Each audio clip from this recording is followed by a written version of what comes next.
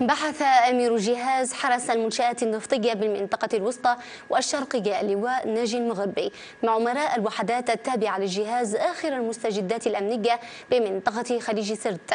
وناقش خلال الاجتماع الذي عقد بمقر الجهاز بمنطقة البريغا غرب مدينة جدابية آلية التنسيق المشترك بين جميع الوحدات لتكثيف الجهود لتأمين الحقول والموانئ النفطية الواقعة في الحدود الإدارية المكلفة بتأمينها من قبل الجهاز. وأكد المجتمعون خلال الاجتماع على جهوزية كافة الوحدات الأمنية والوحدات العسكرية المختلفة بالعمل المشترك للمجاهرة بالأمن في تلك المناطق.